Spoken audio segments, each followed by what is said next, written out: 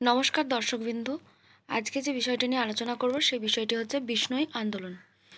আমাদের ভারতবর্ষে পরিবেশগত নানা ধরনের আন্দোলন হয়েছিল এবং সেই আন্দোলনগুলোর মধ্যে খুব গুরুত্বপূর্ণ একটি আন্দোলন হচ্ছে এই বিষ্ণুই আন্দোলন।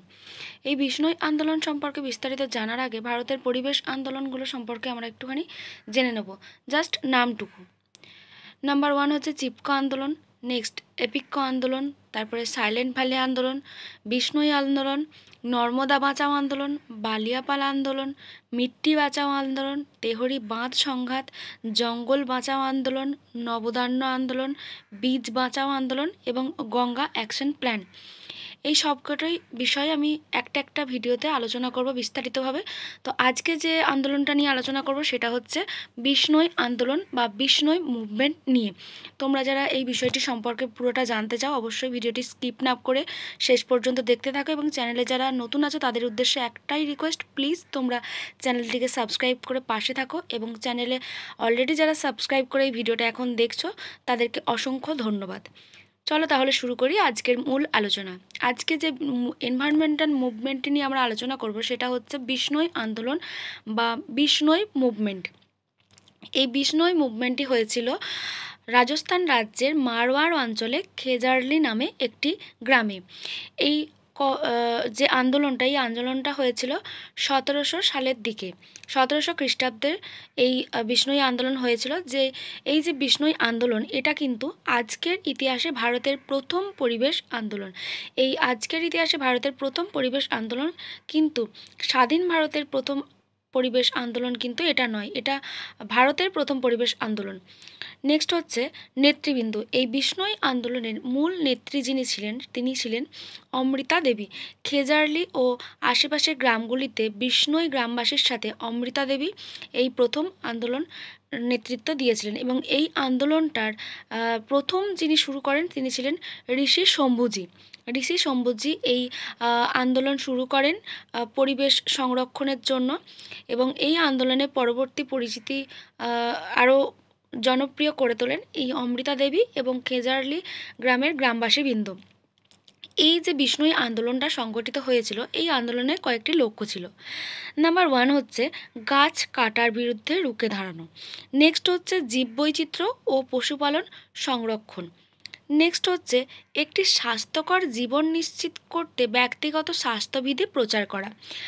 তার পরবর্তী লক্ষ্যটি হলো, যেটা মূল লক্ষ্য ছিল এই আন্দোলন, সেটা হচ্ছে নতুন প্রাসাদের জন্য রাজার যে সৈন্যরা পাঠিয়েছিল, সেই সৈন্যদের যে কেটে ফেলা পবিত্র সৈন্যদের যে গাছগুলো কেটে ফেলতে পাঠিয়েছিল, সেই পবিত্র গাছগুলি অর্থাৎ খেজুর বা খেজরি গাছগুলিকে সংরক্ষণ করা ছিল এই আন্দোলনের মূল লক্ষ্য।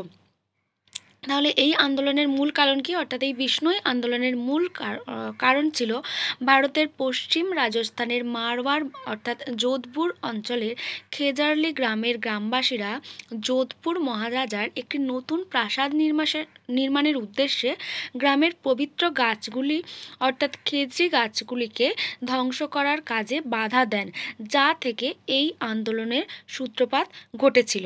বিষ্ণুই আন্দোলনের ক্ষেত্রে খুব গুরুত্বপূর্ণ কয়েকটি তথ্য এরপরে আলোচনা করব। নাম্বার ওয়ান হচ্ছে, এই যে বিষ্ণুই আন্দোলন, এই বিষ্ণুই আন্দোলন ছিল স্বাধীন ভারতের সরি এই বিষ্ণুই আন্দোলন আধুনিক বিশ্বের তথা ভারতের প্রথম পরিবেশগত আন্দোলন। এবং এই বিষ্ণুই কারা ছিল? বিষ্ণুই হলো একটি ধর্মীয় সম্প্রদায়ের মানুষ যারা প্রকৃতি উপাসকের অহিংস সম্প্রদায়ের অন্তর্ভুক্ত এবং এরা জন্মগতভাবেই প্রকৃতিপ্রেমী হয়েছিল হয়ে থাকেন এবং এরা কোথাকার বাসিন্দা? মারোয়ার বা যোধপুর অঞ্চলের বাসিন্দা, মরুভূমি অঞ্চলের বাসিন্দা। এই বিষ্ণই যে আন্দোলনটি করেছিল, বিষ্ণই আন্দোলনটি হয়েছিল, এই আন্দোলনটির মূল সূত্রপাত ঘটান ঋষি শম্ভুজি সতেরোশো খ্রিস্টাব্দের দিকে বন উজাড় বা বন ধ্বংসের বিরুদ্ধে। তারপর এই আন্দোলন আরও এগিয়ে নিয়ে যান এবং বড় পরিচিতি দান করেন অমৃতা দেবী ও তার অনুগামীরা তথা এই খেজারলি গ্রামের গ্রাম বিষ্ণুই গ্রামবাসীরা। নেক্সট হচ্ছে, এই গাছ কাটার বিরোধিতার পিছনে বিষ্ণুই সম্প্রদায়ের প্রধান, বিষ্ণুই সম্প্রদায়ের প্রধান কয়েকটি কারণ ছিল। কারণ একটু আগেই আমরা আলোচনা করলাম যে বিষ্ণুই যে সম্প্রদায়েরা, তারা স্বভাবতই অর্থাৎ জন্মগতভাবে প্রকৃতিপ্রেমী ছিল। তাই প্রকৃতির প্রতি তাদের একটা ভালোবাসা জন্ম থেকেই কিন্তু জন্মেছিল। তো সেই ক্ষেত্রে তাদের সম্প্রদায়ের সাংস্কৃতিক বিশ্বাস ছিল যে গাছের সুরক্ষা ও বন্যপ্রাণী সংরক্ষণের পক্ষে। অর্থাৎ গাছের সুরক্ষার সাথে সাথে তারা যেমন প্রকৃতিপ্রেমী ছিল, ঠিক তেমনই গাছের সুরক্ষার সাথে সাথে বন্যপ্রাণী সংরক্ষণের দিকটাও কিন্তু তারা, তাদের সাংস্কৃতিক বিশ্বাসের অন্তর্গত ছিল। নেক্সট হচ্ছে তাদের গ্রামীণ যে জীবন, সেই গ্রামীণ জীবন জীবিকার সাথে তারা খুব সম্পর্কিত ছিল এবং তারা যে জ্বালানি কাঠ, তারপর পশুখাদ্য এগুলো তারা সংগ্রহ করত এই বনের ওপর নির্ভরশীল হয়ে। নেক্সট হচ্ছে এই গাছগুলিকে, অর্থাৎ এই খেজড়ি গাছগুলোকে তারা খুব পবিত্র বলে মানত। স্বভাবতই এই গাছগুলোকে যখন ধ্বংস করতে আসবে, তাদের মনে একটা আঘাত আসবে, সাংস্কৃতিক বিশ্বাসে একটা আঘাত আসবে, তাই জন্য তারা এই আন্দোলনে এগিয়েছিল। অর্থাৎ এই আন্দোলনের নেত্রী, এই খে আমাদের যে বিষ্ণুই আন্দোলনের কথা বলছি, এই বিষ্ণুই আন্দোলনের মূল যিনি নেত্রী ছিলেন অমৃতা দেবী বিষ্ণুই, তার নেতৃত্বে রাজার বিরুদ্ধে আন্দোলনে নেমে গ্রামবাসীরা আঁকড়ে ধরে প্রতিবাদ জানায়। এবং এই আঁকড়ে ধরা বা গাছকে জড়িয়ে ধরা এই আন্দোলন থেকেই কিন্তু আমরা পরবর্তীকালে দেখতে পাই, এই আন্দোলন থেকে এই গাছকে আঁকড়ে ধরে প্রতিবাদ করা, গাছ কাটার বিরুদ্ধে, সেটা কিন্তু পরবর্তীকালে চিপকো আন্দোলনের একটা আমরা যে আউটকাম সেটা আমরা দেখতে পাই এই আন্দোলনের অনুপ্রেরণা হিসাবে। নেক্সট হচ্ছে, এর ফলস্বরূপ কি করেছিল? রাজার যারা সৈন্যরা ছিলেন, তারা অমৃতা দেবী এবং তার তিন কন্যা সহ মোট তিনশো তেষট্টি জন বিষ্ণুই সম্প্রদায়ভুক্ত গ্রামবাসীকে হত্যা করেছিল এবং এই নির্মম হত্যাকাণ্ড খেজারলি খেজরালি হত্যাকাণ্ড নামে পরিচিত। এই খেজরালি হত্যাকাণ্ড, অর্থাৎ এই যে আন্দোলনটা হয়েছিল, অমৃতা দেবী এবং তার তিন কন্যা সহ মোট তিনশো তেষট্টি জন যে বিষ্ণুই গ্রামবাসীকে হত্যা করা হয়েছিল, সতেরোশো তিরিশ খ্রিস্টাব্দে এগারোই সেপ্টেম্বর। এই যে ঐতিহাসিক হত্যাকাণ্ডটি হয়েছিল। ঐতিহাসিক হত্যাকাণ্ডটির নাম খেজরালি হত্যাকাণ্ড নামে পরিচিত। এবং এই ঘটনাটি জানতে পেরে, অর্থাৎ রাজার আদেশে তার প্রাসাদ নির্মাণের জন্য তাদের, তার সৈন্যরা যে গ্রামবাসীদের হত্যা করেছেন, এই খবরটি জানতে পেরে রাজা গ্রামবাসীদের কাছে ছুটে চলে আসেন এবং সেখানে তিনি গ্রামবাসীদের কাছে ক্ষমা প্রার্থনা করেন এবং তৎক্ষণাৎ সৈন্যদের কার্যক্রম বন্ধ করার আদেশ দিয়েছিলেন সেই সময়।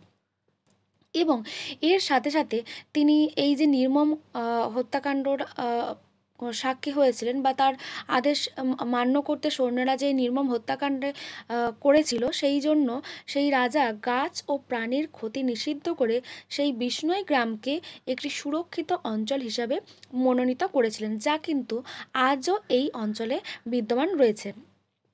এই হলো বিষ্ণুই আন্দোলনের মূল কয়েকটি গুরুত্বপূর্ণ তথ্য। এই আন্দোলনের ফলাফল কি এবার আমরা আলোচনা করব? এই বিষ্ণুই আন্দোলনের ফলে স্মৃতি হিসাবে, এই বিষ্ণুই আন্দোলনের স্মৃতি হিসাবে, অর্থাৎ এই বিষ্ণুই আন্দোলনকে মনে রাখার একটা খুব বড় ফলক হিসাবে রাজস্থান সরকার এই দিনটিকে অর্থাৎ সতেরোশো তিরিশ খ্রিস্টাব্দের যে এগারোই সেপ্টেম্বর যে এই হত্যাকাণ্ডটা হয়েছিল খেজরালি যে হত্যাকাণ্ডটা এই দিনটাকে অর্থাৎ এগারোই সেপ্টেম্বর দিনটাকে এই আন্দোলনের স্মৃতি হিসাবে মনে রাখতে রাজস্থান সরকার ন্যাশনাল ফরেস্ট ম্যাট্রিস আহ, হিসাবে দু সালে ঘোষণা করেন এবং দু হাজার কুড়ি সালে এই দিনটি প্রকাশ জাভরেকরের উদ্যোগে জাতীয় স্তরে প্রথম পালিত হয়। নেক্সট এই আন্দোলনের ফলেই কিন্তু দু হাজার কুড়ি সাল থেকে পরিবেশ রক্ষা ও সচেতনতা প্রচারের জন্য ভারত সরকার Amrita Devi environmental environment protection award নামে একটি পুরস্কারের সূচনা করেছেন এবং রাজস্থান সরকার অমৃতা দেবী বিষ্ণয় স্মৃতি পারিয়াভারণ অ্যাওয়ার্ড সূচনা করেন। তো এই হচ্ছে আমাদের আজকের আলোচনা। আমরা জানলাম যে পরিবেশ আন্দোলনের মধ্যে অন্যতম প্রথম যে আন্দোলনটা হয়েছিল, সেটা আমাদের আজকে আধুনিক বিশ্বে সেটা হচ্ছে বিষ্ণুই আন্দোলন এবং স্বাধীন ভারতে প্রথম যে আন্দোলনটি হয়েছিল সেটা হচ্ছে চিপকো আন্দোলন। বিষ্ণুই আন্দোলন তাহলে কোথায় হয়েছিল? রাজস্থান রাজ্যের মারোয়ার অঞ্চলের খেজরালি গ্রামে, খেজারলি গ্রামে এবং এটা হয়েছিল সতেরোশো তিরিশ খ্রিস্টাব্দের এগারোই সেপ্টেম্বর। এখানে মূল যিনি নেত্রী ছিলেন, তিনি ছিলেন অমৃতা দেবী এবং এই আন্দোলন প্রথম শুরু করেছিলেন ঋষি শম্ভুজি। তো এর আন্দোলনের লক্ষ্য কী ছিল? এই আন্দোলন যিনি যে কারণ, কোন কারণে হয়েছিল সেই কারণগুলো আমরা আলোচনা করলাম এবং এই আন্দোলনের কিছু গুরুত্বপূর্ণ তথ্যও আমরা এই ভিডিওতে আলোচনা করলাম। তার সাথে সাথে আলোচনা করলাম এই আন্দোলনের আমাদের সরকার বা আমাদের ভারতীয় জনসমাজে কী প্রভাব ফেলেছিল সেই সম্পর্কে, অর্থাৎ আন্দোলনের ফলাফল সম্পর্কে আমরা বিস্তারিতভাবে আলোচনা করলাম। তো তোমাদের যদি এই ভিডিওটি ভালো লেগে থাকে, অবশ্যই তোমরা একটি লাইক করো এবং বন্ধুদের সাথে প্রচুর প্রচুর প্রচুর শেয়ার করো। Thank you for watching this video